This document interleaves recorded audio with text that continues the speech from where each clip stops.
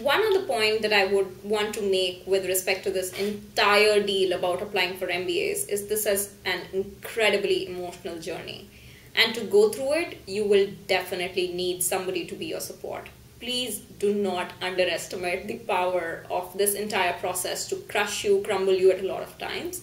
And in these situations, you want somebody who can be your support to not, not just prop you up when you feel low, but even to temper you down when you're feeling extremely happy about something which is unrealistic.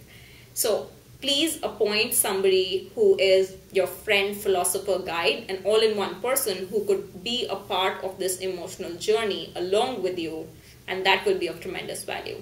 I can tell you that if it was not for one person who stood with me throughout this entire journey, I would not have been here.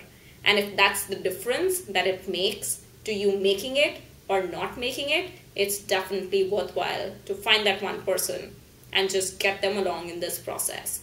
You will be surprised that those people also take out a lot from this entire experience, and it's not just you who are benefiting.